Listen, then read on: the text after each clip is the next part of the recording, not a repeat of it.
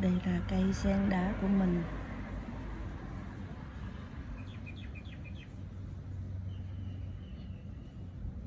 Cây sen đá này á, mình mua á, là vì mình nhìn thấy nó lạ. Lúc mình ở trong cái tiệm bán cây á mình nhìn cây này mình thấy nó lạ quá.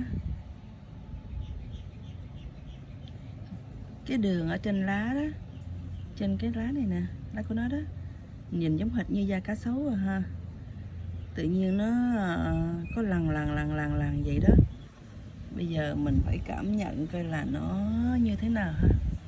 Ờ nó láng thôi. Nó láng à. Nhưng mà mình nhìn á thì mình tưởng là nó sần sùi ha. Nhưng mà không có. Nó láng o à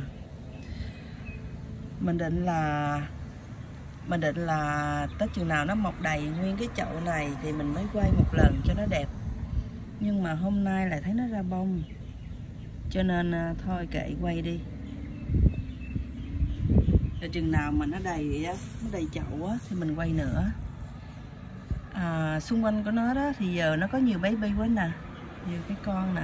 Ừ. và mình cũng à, à, chôn cây uh, uh, spring of heart á là cái chuỗi trái tim á xung quanh nó nữa.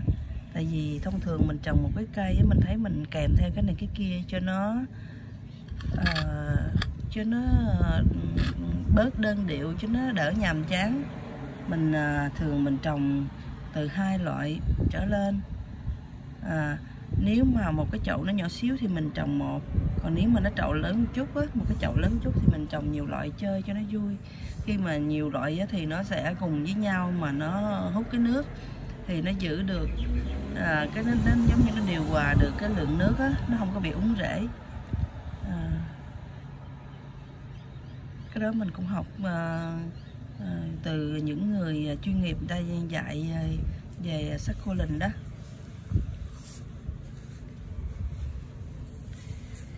Ừ, với lại khi mình mua cây kiển từ ở à, tiệm về đó ở tiệm bán cây về á mình cũng nên khi nó có baby á, có có có những cái con á mình cũng nên chiết ra một cây rồi mình giữ lại. Bởi vì có nhiều khi á, khi mình cây mình trồng á nó bị chết á và nó mất cái giống. Cho nên à, à, cách tốt nhất cho mình á, là mình nên à, giữ nó lại một cái cây giống. Đó mình á. Thì à, khi mình trồng á, thì khi nào nó được có nhiều cái baby á, thì mình chiết ra một cây được rồi. Còn cái phần còn lại á, mình để cho nó mọc đầy hết trơn á nó mới đẹp. Ừ.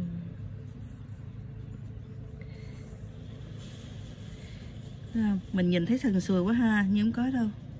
Nó o hả? Nhưng mà mình thấy là cái à, những cái à, loại bông sắc khô lình đó nó có những cái bông nó hơi có vẻ tương tự với nhau. Giống giống nhau.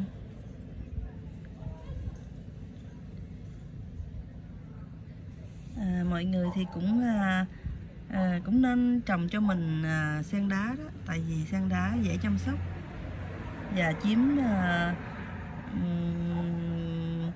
một cái à, diện tích rất là nhỏ à, khiêm nhường. Thôi không cần phải à, à, có nhiều đất giống như những cái loài cây khác. À, được con cái là không có không có cần phải chăm sóc nhiều á. Giống như mình có thể là à, một tuần hai tuần cả tháng nhiều khi mình quên á. Nó vẫn còn sống mà. Chỉ có cái là nó hơi héo héo. Xong rồi mình về mình à, tưới nước thêm phân một chút xíu. Có thấy không? Có thấy mấy cái hộp không? Hộp tròn tròn vàng vàng đó là hộp phân á. Phân phân tăng chậm á. À, mình rất là mê à, sắc khô lình săn đá à, sống đời bởi vì nó có cái hình thù rất là lạ. Nó rất là lạ mỗi cây nó nó lạ lắm kìa không biết nói sao. Nè bữa nay mình bất ngờ lắm luôn á. Mình không có biết là cây này nó ra bông đâu. Cứ nghĩ là nó có baby thôi mấy cây baby nhỏ nhỏ nè. Nhưng mà không ngờ hôm nay lại có bông luôn. À, hôm nay là ngày lễ nữa. Ai lấy được nghỉ nhà.